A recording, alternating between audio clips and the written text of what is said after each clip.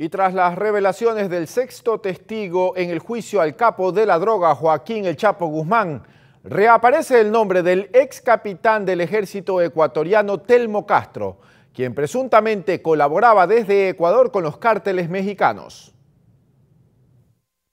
Que se vincule al ex capitán militar Telmo Castro Donoso con cárteles del narcotráfico no es nada nuevo.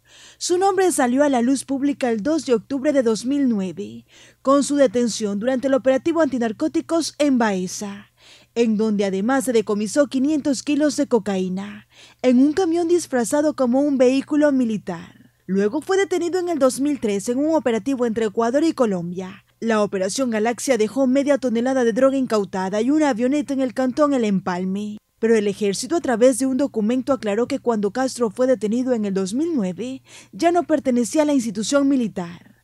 También dijo que durante las investigaciones en contra de Castro, el ejército colaboró con las autoridades. En el escrito se recalca que este tipo de actos serán sancionados con todo el rigor de la ley.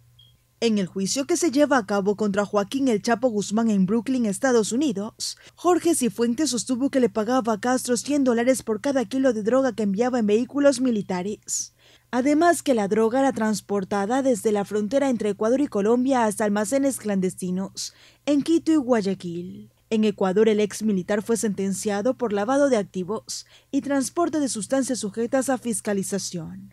Sin embargo, obtuvo prelibertad en agosto pasado. En la cuenta oficial de Twitter, en una seguidilla de mensajes, el asambleísta José Serrano y exministro del Interior mostró el documento de prelibertad otorgada a Telmo Castro.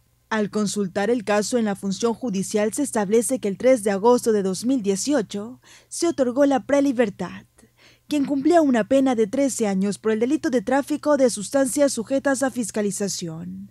Posee además otra pena de cinco años por lavado de activos, y en las dos tiene solo el 40% de cumplimiento.